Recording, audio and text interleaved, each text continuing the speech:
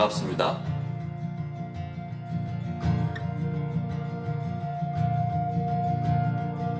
정재원이라고 합니다. There's nothing more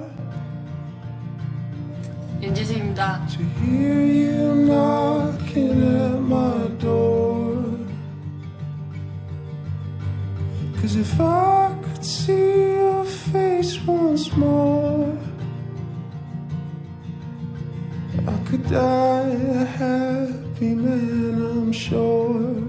무섭고 떨리네요. 지금 이런 상황에서 이런 말 하는 게 정신 나간 거 아는데.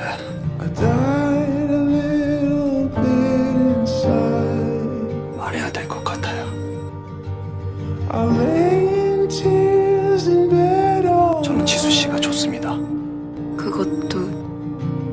그것도 신의 뜻이에요. without you by 아니요. my side.